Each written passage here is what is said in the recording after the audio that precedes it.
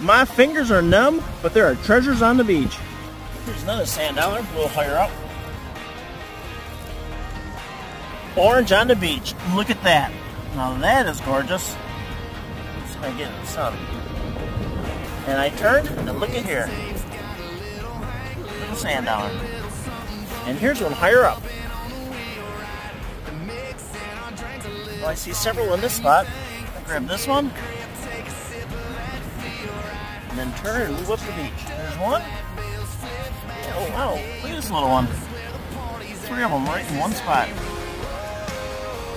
And just one more. So I would say this is a great way to start the day. Because